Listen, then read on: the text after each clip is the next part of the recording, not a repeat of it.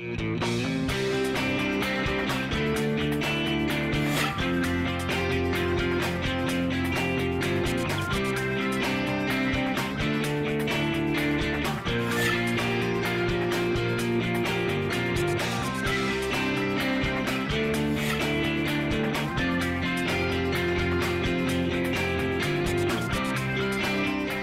Hi, I'm Avery Davidson. Thank you for joining us for This Week in Louisiana Agriculture, the only TV show bringing Louisiana farmers and consumers together every week. My partner, Kristen Oaks White, is off this week.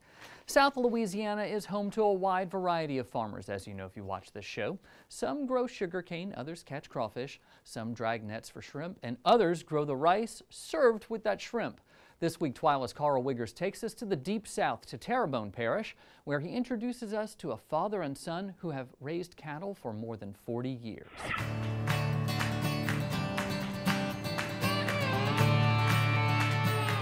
Farming is a team sport for these two. This is Ronnie Trish.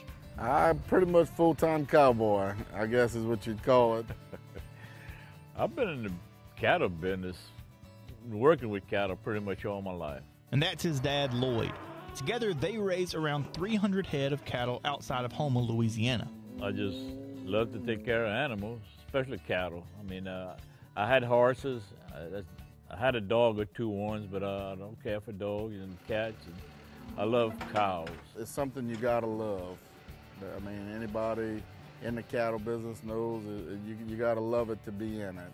It's, it's something very unique and, and it's rewarding. Like if you got a sick calf and you bring him back to health, man, that's, that's rewarding to us, you know. Lloyd says that cattle offer the daily challenge that you just don't seem to find off the farm. But as Ronnie explains, today those challenges are less about the cow and more about the struggle to make a living in the industry. The rising cost of, of, of everything, you, you know, your, your feed. The land is getting short. Your medicine, Everything going sky high. Equipment. Baling twine, $52 a pack for baling twine. Who ever heard of that? Used to pay $17, $18, you know. 15 years ago, a ton of ryegrass was $400. Now it's 1,400. As that money gets tight, Ronnie and Lloyd explain how they get creative around the farm working with their hands. You also got to watch not to, to sink all your income into it because uh, I mean you can fall short of you know breakdowns or like I said just the, the cost of medicine and equipment. I love to tingle with things. I like to make a lot of things. I like to build things. Uh, all them boys can tell you I just about repair anything. I didn't have but a sixth grade education and I'd match myself against a college guy. I guarantee you. While that was more common for his generation, I'll tell you this it was not for his lack of effort. I spent two years in the service trying to finish my high school, never could do it.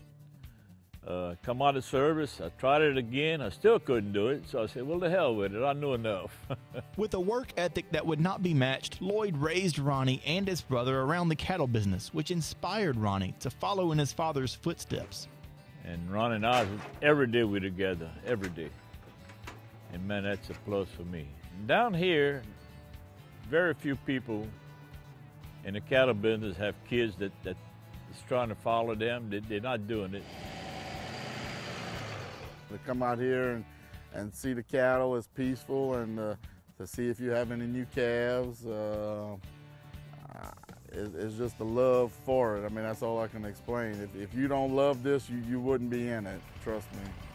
I'm proud to see it in one way, and then in another way, I know how hard it is. I wish they could have took up, you know, better, better trade, but what you going to do? I mean, you need the farmers. You need farmers, and it's getting to be tough for farmers right now.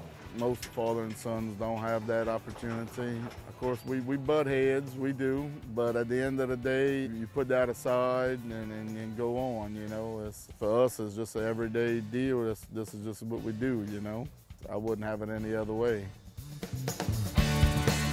It's also interesting to note that in the last few years, the Trishes have started to raise crawfish on their land to help diversify their farm's income. And Avery, I got to tell you, I'm really excited about the crawfish that mm -hmm. we keep mm-hmm. talking about on the show.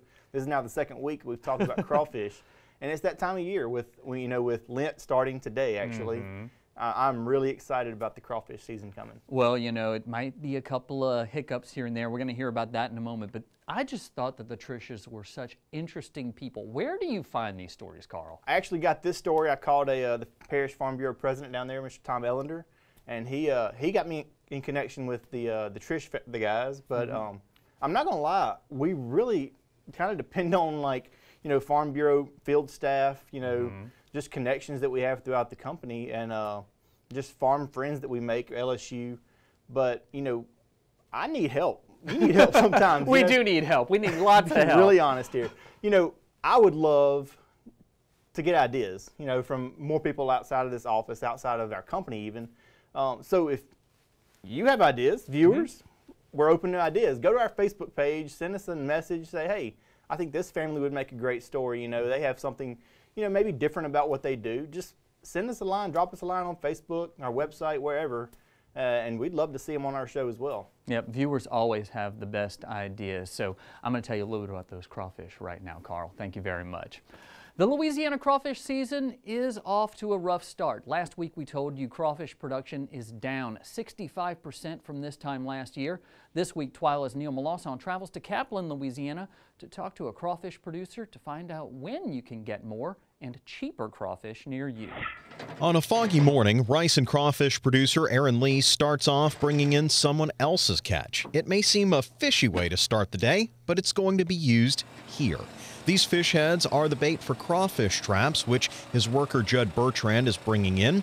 As you can see, though, the crawfish traps aren't very full right now. Just seems like they make they'll make a break for it, like they'll want to start biting, and then and then it'll drop off, and then we'll catch a freeze or a foggy day like this. The fog takes the oxygen out of the waters, which isn't good for the crawfish. Even on sunnier days, fishing is down from this time last year. Last year at this time we was catching fairly fairly well. The size of the crawfish are up and down.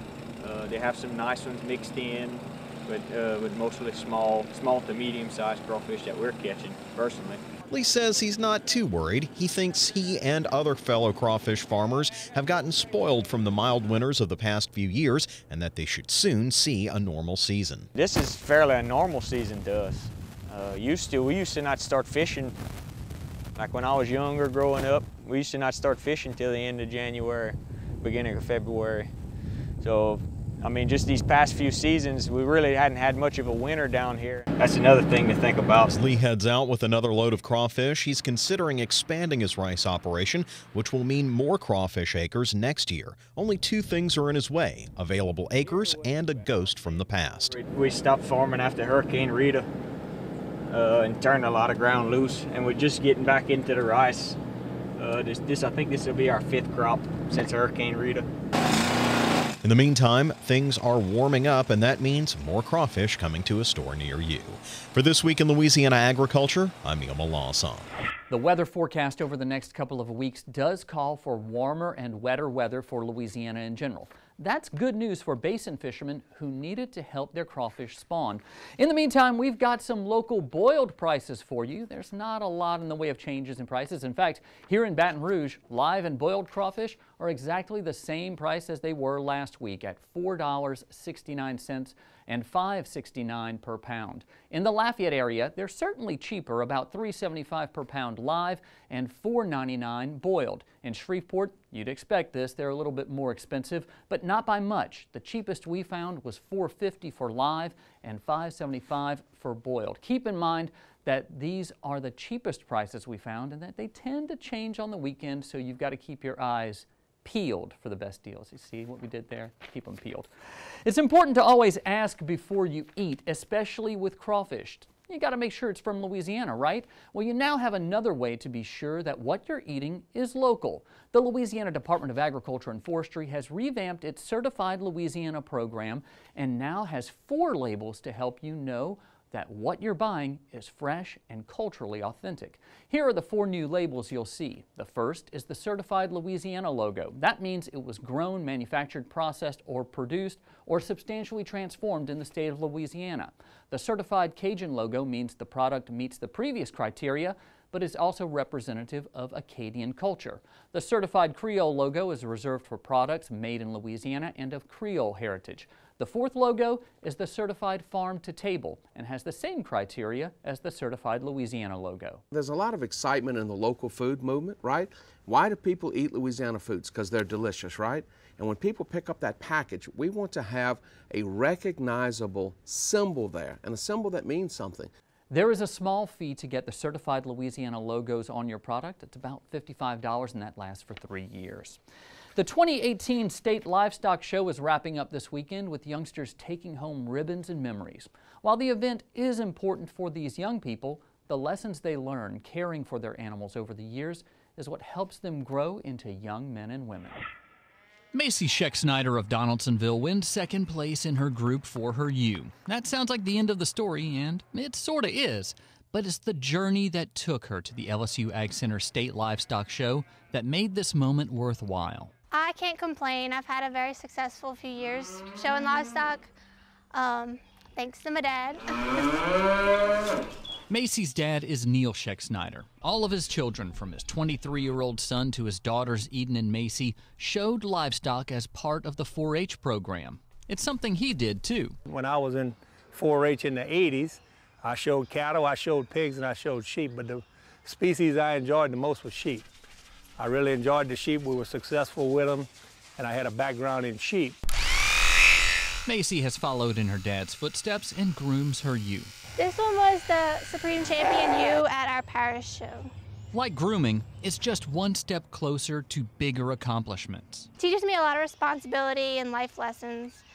I get to meet a lot of new friends and spend time with my family back here. Macy also shows Angus cattle, but showing hogs, that's her favorite according to her dad. Like with all of his children, Neil would help out early on. As they got older, the parent, the parent involvement got a little less and their involvement got a little more. So they kind of took it, help them when they're small, they learn the ropes, and then once they learn the ropes, they take it. And basically, my daughter does all of her work in the afternoon on her own, and she may spend two hours in a barn every day. It's time well spent, not because of a second place ribbon, but because of their involvement in 4 H and with the LSU Ag Center, Neil got to see his children become winners in life. I think they uh, became good adults. They're hardworking individuals, and uh, I'm very proud of them. As you saw, Schexnayder took home the red ribbon, second place for her group for her ewe. As of this taping, she had not shown her heifer and hog yet. We'll update this story on Facebook whenever we find out how she did. Recently, the LSU Ag Center invited sixth graders to campus for a closer look at bugs, nutrition, and even drones. Twila's Craig Gautreaux shows us how LSU students got involved in teaching these children about all the different career opportunities in agriculture. Clothing made from alligators, drones flying through the air, and crawling giant cockroaches were all part of sixth grade days, an event organized by the LSU Ag Center to show the diverse careers related to agriculture. Shiloh Judd, a graduate entomology student, saw it as an opportunity to educate students about insects. People think bugs are scary, they're dangerous, and some of them are, but we'd like to point out to the kids today that there are good bugs and there are bad bugs, and hopefully show them which ones are which. Hannah Johnson, an LSU College of Agriculture undergraduate student, spent her time telling students about her experiences in the college. For those students who answered her questions correctly, they were rewarded with flavor infused crickets, which the students willingly ate. I'm actually an agriculture education major. I love children. I like informing people, especially about agriculture. I'm very passionate about agriculture as well as the issues. The event allowed students to learn about agriculture outside the classroom, but that information reinforced what they were learning in the classroom. My kids have had the most fun um, creating the food chain. That's something that they're studying in classes, so they get to implement it here in real life, and I, I appreciate that experience. Nearly 2,500 students attended the event, which also included visits to other colleges on LSU's campus. The LSU Ag Center hosts other events like this throughout the year to introduce students to careers in agriculture. There's always a good reason to learn more about agriculture, and for women who are involved in farming and ranching, a special event is coming up. February 22nd and 23rd are the dates for the 2018 Women in Agriculture Conference. Here, you're looking at video from 2015. This year, organizers will host the conference in Alexandria. The keynote speakers for this year's conference are Sarah Calhoun, a Montana farm woman who created her own line of work pants because the ones in stores, well, just didn't fit women well when they were working. The other is Kimberly Ratcliffe, a woman who left her job at Bloomberg in New York to go back to her family's ranch. When you look at Louisiana, there's about 28,000 farms in the state of Louisiana, and about 3,500 of those are owned and operated by women. So women play a real integral role in, in agriculture in our state. And even if you look nationwide, there's about 2.1 million farms in the nation. 14% of those are owned and operated by women.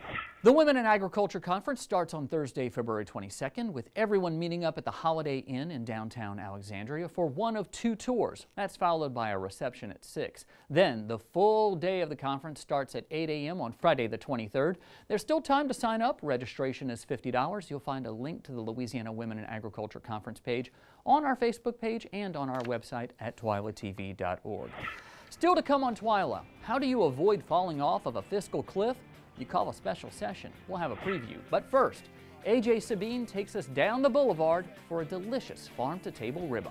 Stay with us.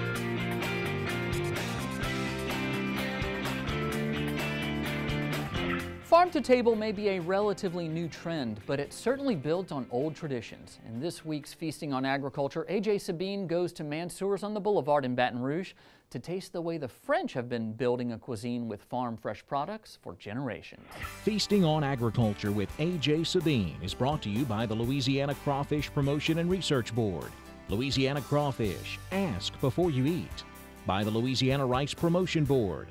Think rice and by the Louisiana Beef Industry Council. Beef, it's what's for dinner.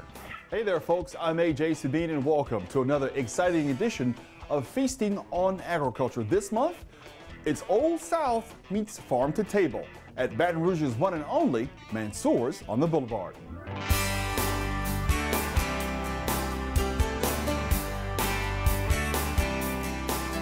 Joining us now is Chef Chris Motto. And Chef, you've been here at Mansour's about nine years. How have you seen food palates change in terms of farm to table in that time? Oh, well, you know, there's a lot more options farm to table wise in Baton Rouge. We have all these local farms now that are producing great products and keeping the food miles off the food. You know, the, the faster it gets to me, the, the better I can handle that and, and get it out to the table fresh and delicious. Why is it so important that people have a relationship with the folks that grow the food that you prepare for them in your restaurant? Well, you know exactly what you're getting. You know how the product's been handled. Um, a lot of times they can grow specialty items for me if I need something in particular to create for my dishes. And working with these farmers, just like my fish purveyors and my meat guys, it, it just creates a relationship and allows me to keep moving forward.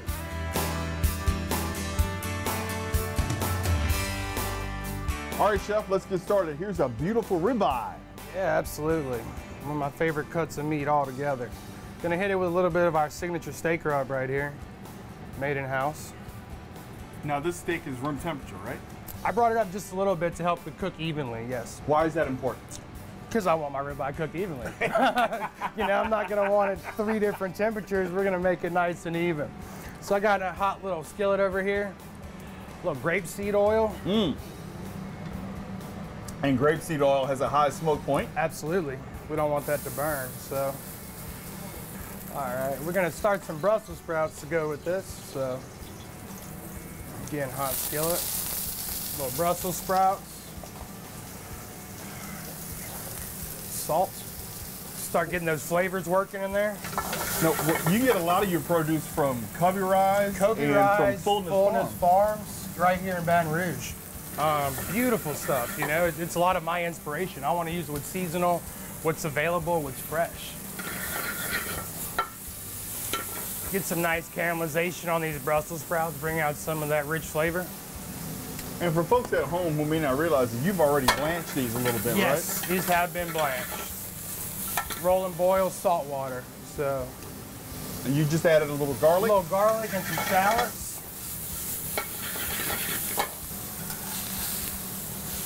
There we go. How long about how long on both sides for this ribeye for a perfect medium rare? It's going to depend on a lot of issues, you know, how hot your skillet is, your flame, thickness of the cut, and everything else. But, I mean, that was, what, about two minutes right there on that side? Give another two minutes, and we're going to baste it and get that butter in there and all the herbs and flavor. We're to take these Brussels sprouts now. This is a little bacon jam I prepared earlier. Chef, Gonna what is bacon jam? What is bacon jam? bacon jam is delicious. There you go. Yourself a little taste of that right there. And into this ribeye, we're gonna add some smashed garlic, fresh rosemary and thyme, and then just a smidge of butter, you know? Just a smidge. Did you say parsley, sage, rosemary, and thyme? Yeah. Oh, that looks good. Yeah, we're gonna bring all those fresh herbs into that meat right there. Chris, if you would, kind of describe to folks what that smells like, what that, that garlic and the rosemary. Oh, to me, this is heaven right here. We're gonna let this ribeye just sit just another second or so.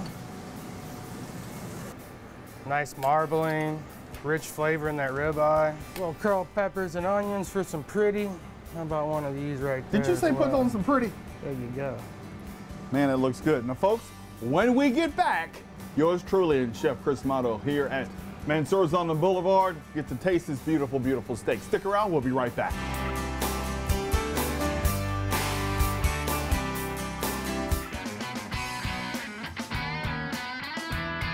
All right, folks, we are back. Thank you so much for sticking around, joining us again, Chef Chris Motto.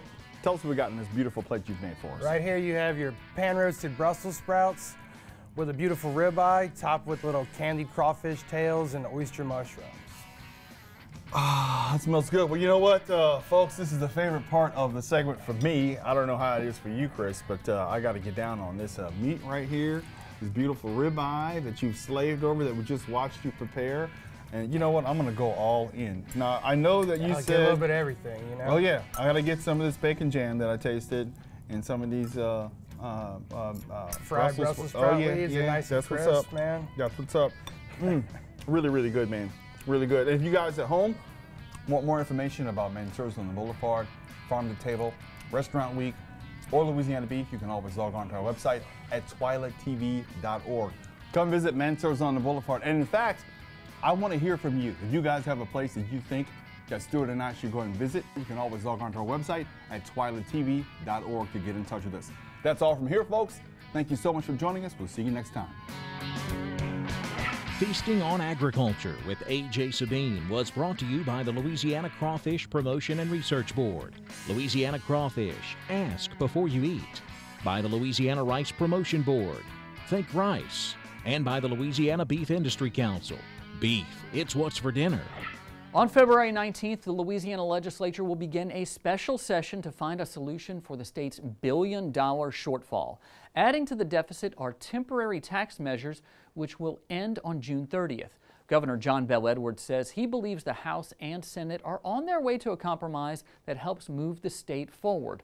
According to Louisiana Farm Bureau legislative specialist Joe Mapes, that compromise will likely revolve around a one penny sales tax, a tax lawmakers originally said they would allow to expire. the conversation began going in, heading towards that special, heading towards the beginning of this year, that the legislature and the governor was going to take that one penny off as promised on June 30th, and it would be off July 1st.